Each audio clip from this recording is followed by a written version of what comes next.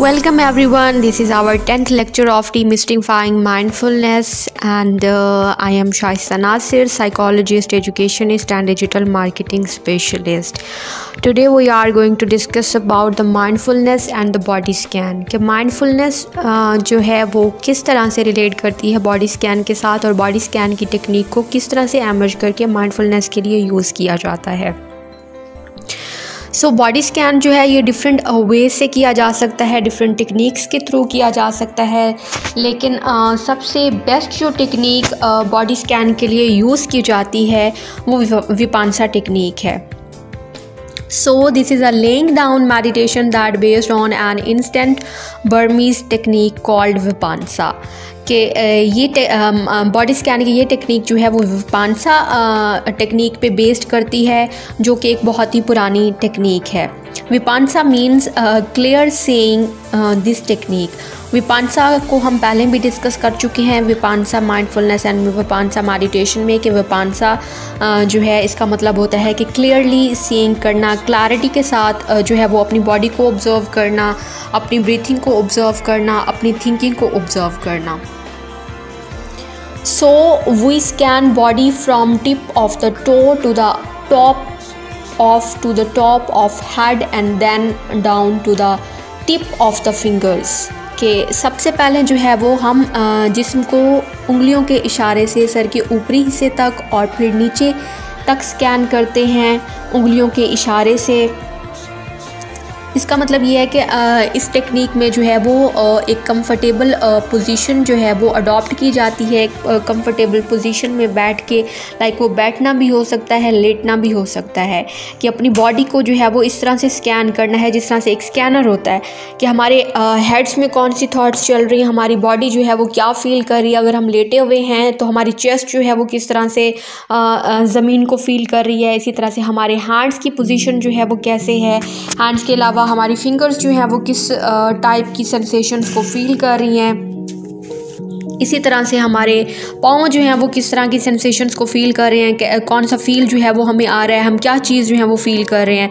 तो टोटल जो body scan है, वो इस टेक्निक में जो है, वो किया जाता है। The passengers is very deep and detail technique that involve much more than can be shown in once and so so, इस टेक्निक को जो है वो पंद्रह मिनट के लिए किया जाता है। पंद्रह मिनट के लिए ये टेक्निक जो है वो इनफ होती है। इसी तरह से हमारे पास कोई पेशेंट आता है वो इनजाइटी का हो डिप्रेशन का हो आ, या फिर हाइपर एक्टिविटी का हो तो उसके लिए जो है वो बॉडी स्कैन की टेक्निक जो है वो रेफ़र की जा सकती है कि फ़िफ्टीन मिनट्स के लिए बॉडी स्कैन की टेक्निक को यूज़ करें।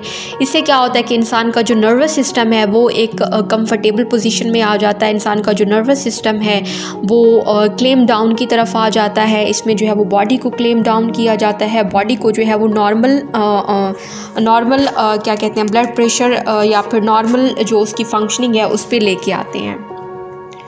So this technique is adopt from विपानसा and is more of the modern body scan technique कि ये टेक्निक जो है वो विपानसा टेक्निक से अडॉप्ट की गई है, जो कि एक मॉडर्न टेक्निक है।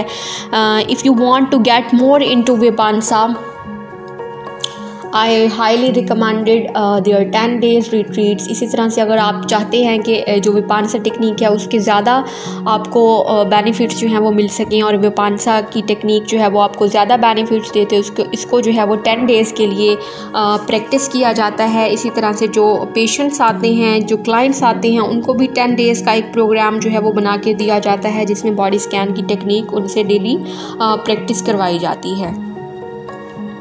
इसी तरह से बॉडी स्कैन जो है, ये किसी भी पोजीशन में किया जा सकता है। ऐसी पोजीशन जो आपको कंफर्टेबल लगती हो। लाइक अगर आप बेड पे लेट के करना चाहें तो बेड पे लेट के भी हो सकती है। बैठ के करना चाहें तो बेड पे भी हो सकती है। इसी तरह चटाई बिछा के ज़मीन पे करना चाहें तो उसके थ्रू भी ये टेक्निक जो है, वो की जा सकती है। ये प्रेफर ज़्यादा किया जाता है कि आप कौन सी पोजीशन में कंफर्टेबल फील करते हैं। इसी तरह से माइंडफुलनेस में जो है वो बॉडी स्कैन को तरजीह दी जाती है, इसको जो है वो प्रेफर किया जाता है। और इसके साथ साथ आरामदा पोजीशन जो है वो उसको भी प्रेफर किया जाता है। ऐसी पोजीशन जिसमें आप सुकून महसूस करते हों वो पोजीशन जो है वो कोई भी हो सकती है। इसी तरह से अगर आप इसी तरह से अगर कोई ग्लासेस जो है वो क्लाइंट लेता है या कोई ग्लासेस जो है वो लगाता है तो अपने ग्लासेस जो है वो उतार सकता है ताकि उसे जो है वो कोई प्रॉब्लम ना हो, कोई इशू ना हो। इसी तरह से अगर कोई ऐसी चीज़ पहनी हुई है जो हर्ट कर सकती है तो वो भी जो है वो उतार सकते हैं। यानी कि एक कंफर्टेबल पोजीशन में, एक कंफर्टेबल जोन में लेके आना होता है बॉडी को। अब इसमें क्या होता है बॉडी स्कैन में कि हमने अपने पूरे जिस्म को महसूस करना होता है, जैसे ज़मीन पर या इसके जैसे अगर ज़मीन पर लेटे हों तो उसको जो है वो ज़मीन पे महसूस किया जाता है, अगर बिस्तर पे लेटे हों तो उसको बिस्तर में महसूस किया जाता है। इसका मतलब ये है कि सिर्फ़ पूरे जिस्म को आबाद करना और अपने शूर को अपने जिसम को पुर करने की इजाज़त देना कि आपने जो है वो अपने कॉन्शियस को ये परमिशन देनी है कि आपका कॉन्शियस जो है वो आपकी पूरी बॉडी को स्कैन कर सके, आपकी बॉडी जो है वो एट द प्रेजेंट मूवमेंट किस तरह की है, क्या फील कर रही है? लाइक अगर आप जाग रहे हैं तो रोशनी जो है वो किस किस्म की आपके ऊपर पड़ रही है? इस रोशनी का एहसास जो है वो कैसा है? अगर कोई हवा आ रही है कोई रोशनी आ रही है तो उसकी शिद्दत क्या है? बॉडी पे उसका एहसास क्या है? क्या वो रोशनी जो है वो हमारी बॉडी को ठंडक दे रही है? क्या वो रोशनी हमारी बॉडी को जो है वो गर्मी का एहसास दे रही है? इसी तरह से आ, आ, अपने पैरों की उंगलियों से लेकर पैरों तक, टखनों तक और घुटनों तक और घुटनों तक अपनी ऊपर टांगें और इसका पूरा हिस्सा जो है वो उसको फील करना है। अपने कंधों, अपने बाजू, अपनी कोनी, अपने निचले हिस्से, हाथ बाजू और हाथ बाजू भी उंगलियों के इशारे से जो है वो फील करने हैं। लाइक like, इस तरह के आपका पूरा जिस्म जो है वो अवेयर हो रहा है आपका पूरा जिस्म जो है वो आपकी ही बॉडी से अवेयर हो रहा है अपने माइंड को अपने कॉन्शियस माइंड को अवेयर कराना है बॉडी से अपनी फीलिंग से। अपनी सिचुएशन से कि किस तरह की आवाज़ें जो हैं वो आ रही हैं और ये जो रोशनी आपकी आँखों के आँखों को, आँखों के आँखों में पड़ रही है, वो किस टाइप की है? इसी तरह से जो आवाज़ें आप सुन रहे हैं, वो किस टाइप की हैं? अगर कोई खुशबू आ रही है, कोई स्मेल आ रही है तो वो किस्म की, किस किस्म की है? इसी तरह से आपके मुँह के अंदर का जायका जो है वो किस टाइप का है सिर्फ़ अपने पूरे जिसम के साथ मौजूद रहना और एक मिनट या दो मिनट सर्व करने के लिए सिर्फ़ यही पड़े रहना और अपने बारे में आगाह होना। सो so, ये जो है वो बॉडी स्कैन होता है कि अपनी बॉडी से जो है वो फुली अवेयर होना, अपनी बॉडी को जो है वो एक कंफर्टेबल जोन में लेके आना just inhabiting an entire body letting your conscious feeling your entire body chilling the entire body with the golden lights of awareness golden lights of awareness feeling every part of your body not leaving any out from the tip of your toe to your feet to your ankles to your lower legs and to your knees and your upper legs your entire uh, body तो इन्होंने जो है वो body scan को golden light of awareness के साथ relate किया है कि बॉडी स्कैन जो है वो हमेशा गोल्डन लाइट ऑफ़ अवेयरनेस के साथ किया जाता है कि हमने जो है वो अवेयरनेस की स्टेट जो है वो यूज़ करनी होती है। अपनी बॉडी को जो है वो अवेयरनेस के साथ जो है वो फील करना होता है कि हमारी बॉडी जो है वो किस किस्म की सेंसेशन को फील कर रही है, किस किस्म की सिचुएशन में है और इसकी जो है वो कंफर्टेबल सिचुएशन जो है वो कैसी है। There was one scan going down from the tip of the toe and the head to the tip of the toe, and uh, continuously along even after this um, backward and uh, uh, up backward agains. Uh, so back up from the top of the toe of the head and then back down from the top of the head to the toe.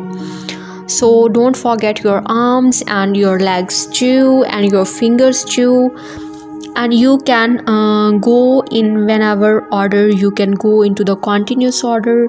Um, but if you want to do your arms along with your uh, torso you can do that and you can break down the things. So going over the front of your body and then the back of your body and the other ways down you can make sure you scan every part of your body including the interiors the um, breathing heart and the lungs and the organs uh, your abdominal and the inside of your arms and legs the sides of your head and all of the sensory organs in your head and as well as so body scan का जो procedure है it's uh, complete uh, completely scan the all um, body parts and all body sensations so now just keeping going so this is the end of our today lectures. If you uh, have any query you can ask me. Allah Hafiz